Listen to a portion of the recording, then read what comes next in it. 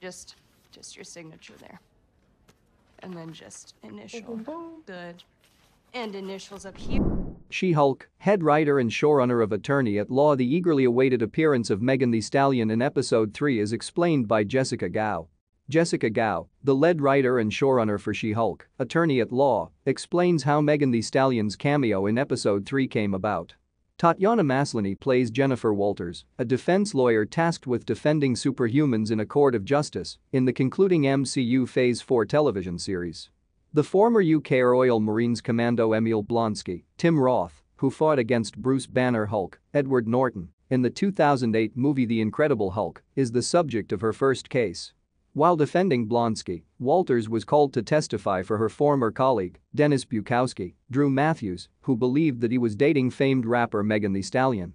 However, after spending $175,000, he found out that the musician was actually a shape-shifting light elf from New Asgard. Surprisingly, the actual Megan Thee Stallion appeared as a cameo in both the courtroom as a member of the audience and in the mid-credits scene hiring Walters as her lawyer with both of them twerking to Megan Thee Stallion's body. In a recent interview with TVLine, Gao revealed how Megan Thee Stallion's She-Hulk, attorney at law cameo in episode 3 happened.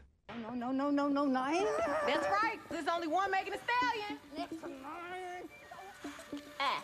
The showrunner explained that for the episode they needed a famous, beautiful, successful woman to fill the role and Jameela Jamil, Titania, had connections with Megan Thee Stallion from working on HBO's reality television series, Legendary.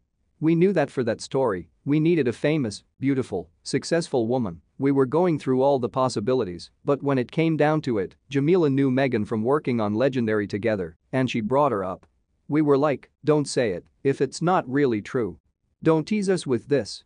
Unknown ladies may have been taken into consideration by the She-Hulk crew, but Megan Thee Stallion unquestionably meets their requirements. She has had commercial success as well as winning numerous accolades, including three Grammys. Another illustration of how crucial it is to network properly in the entertainment industry is Megan Thee Stallion's presence on She-Hulk. It's possible that someone else would have gotten the guest seat if she didn't have a direct relationship to Jamil. This appears to be more than a small part considering that Megan Thee Stallion reportedly has a multi-episode She-Hulk role that includes an action scene. She has shown a desire to diversify her career outside music, and partnering with Marvel may be the first move in that direction. Using the popular Megan Thee Stallion as the subject of Bukowski's case is humorous in its own right due to the fact that the rapper is one of the biggest names in music today. However, Megan Thee Stallion's appearance in the episode proved to be one of the most surprising aspects of the show thus far. With the series already providing cameos from the MCU every episode, bringing in a real-life star was something truly unexpected. However, She-Hulk, attorney at law, may have set the bar too high to top such a big cameo appearance. Way more fun than my last lawyer. I will kill for you, Megan Thee Stallion.